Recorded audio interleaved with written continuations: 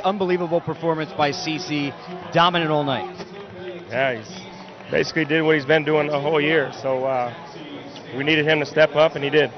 The offense, you know, obviously in spots, a lot of solo home runs, but today it seemed guys like Melky even had four RBIs. Tex had a big hit as well. Do you guys feel like you're coming together where you're, as a full unit, going to be able to put together some of the runs we saw during the regular You're not, season? you're not going to see too many games like this. I mean, pitching's so good in the playoffs that uh, you know you're going to really be trying to get a run here and there. But um, today, for the most part, everyone swung the bats well.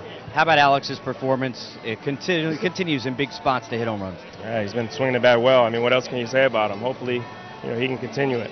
Last thing, you've been here before. Do you get that same feeling with this club, like the four times you had back in the 90s?